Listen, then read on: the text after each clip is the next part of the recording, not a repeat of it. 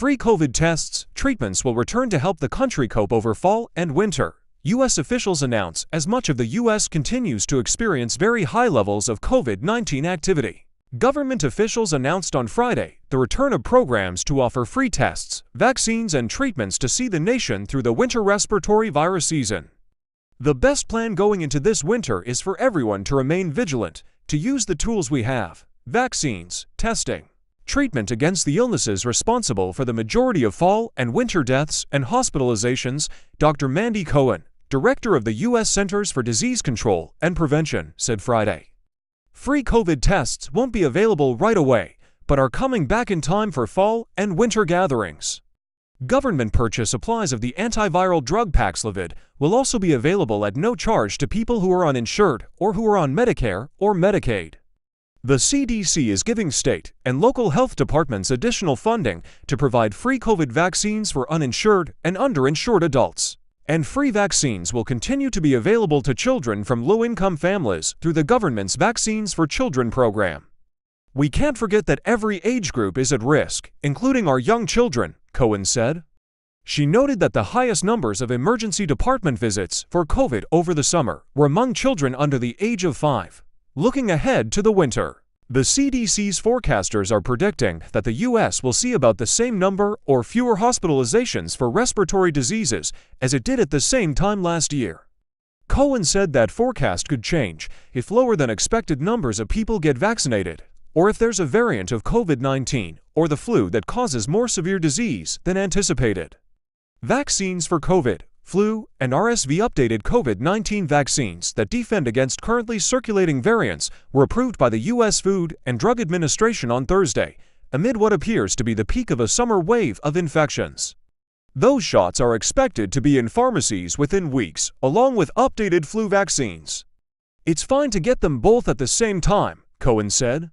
I can tell you I already have my appointment, said Dr. Peter Marks, director of the FDA's Center for Biologics Evaluation and Research. Marks stressed the importance of vaccinations for preventing severe outcomes from COVID, including long COVID. The only way you get long COVID is by having COVID, Marks said. And vaccines can help prevent COVID, although the federal government's Bridge Access program has ended. Cohen said the CDC would distribute $62 million to state and local health departments to provide free COVID 19 vaccines to adults who wouldn't otherwise be able to afford them.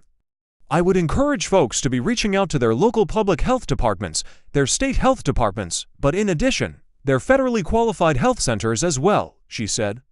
Adults with private and public insurance like Medicare and Medicaid continue to have access to COVID vaccines with no copay. Vaccines against respiratory syncytial virus, or RSV, which hospitalizes and kills babies and seniors every year, will also be available. RSV immunizations are recommended for babies who are under 8 months of age and going into their first RSV season, for adults who are 75 or older, and for those 60 or older who have underlying health condition or who live in a nursing home. Certain children who are younger than 20 months old and who are at increased risk for severe disease may also need a second shot. Unlike the flu and COVID vaccines, RSV vaccines are not expected to be needed each year.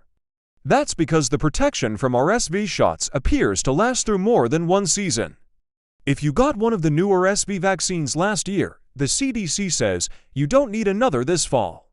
How to order free COVID 19 tests starting in late September the government will reopen its covidtests.gov website.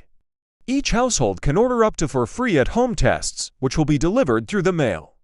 This will be the seventh distribution of free COVID tests, a popular program that has sent out more than 900 million tests since 2021, said Dawn O'Connell, the U.S. Department of Health and Human Services Assistant Secretary for Planning and Response. Additional free tests will be available at community sites like libraries, food banks, and long term care facilities.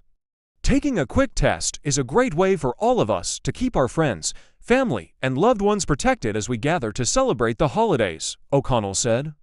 Access to free COVID 19 treatment O'Connell said the government's PAXCESS program, which is run by drug maker Pfizer, will continue to distribute free Paxlovid through the end of the year to people who test positive for COVID 19 and who are uninsured or who are on Medicare or Medicaid.